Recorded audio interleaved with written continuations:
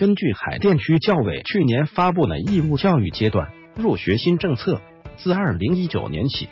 在海淀区新登记并取得房屋不动产权证书的住房，用于申请入学的，将不再对应一所学校。现在距离今年升学季还有几个月的时间，不少学校相继对此项政策进行回应。北京十一学校龙跃实验中学近日，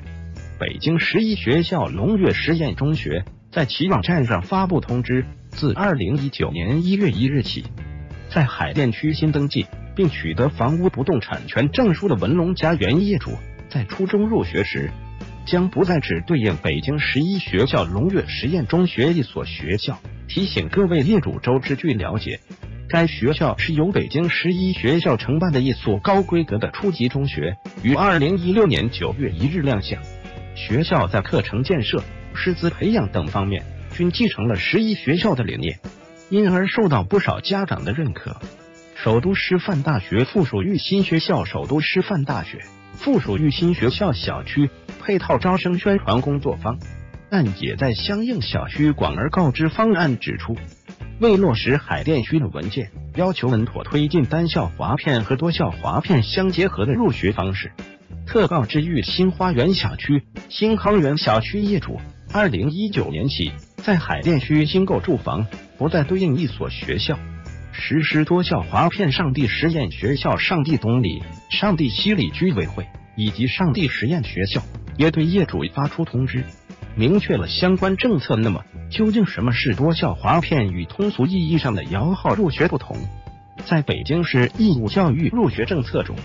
多校划片被当作优质教育资源机会公平分配的一种方式。其实质和操作方式是统筹两所及两所以上的学位资源，其中包括优质资源，根据个人需求和志愿进行统一公平分配。据北京市教委相关负责人介绍，多校划片至少包含两层含义：一是保障片区内总学位的数量，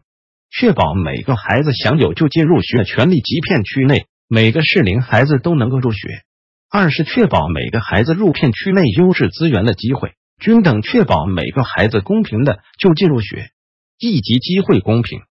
市教委相关负责人此前曾解释，目前本市的多校划片一般分为两类，一类是用相关条件进行限定，比如户籍、居住地址等；另一类则是采用老人老办法、新人新办法，比如对某一日期后所购住房作出规定。多校划片不是新鲜事物。大刚军了解到。除了海淀区之外，不少区也出台了类似规定。朝阳区此前规定，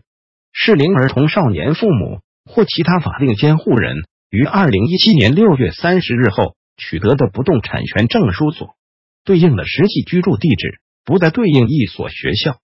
适龄儿童少年依据该实际居住地址登记入学，将参加所在片区的统筹分配。丰台区规定，二零一七年九月一日起。逐步实行购置二手房的房主子女通过多校划片派位方式入学。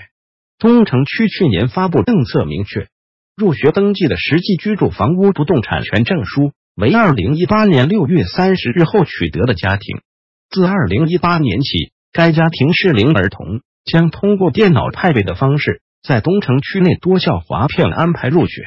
之后，该时间根据实际情况进行了调整。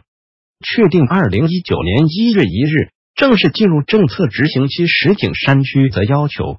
在石景山区教育资源配置相对均衡的学区，针对有空余学位的公办热点学校，逐步探索多校划片入学方式。监制：陈岩，编辑：张小英，流程编辑：刘伟丽。来源：教学大纲微信公号。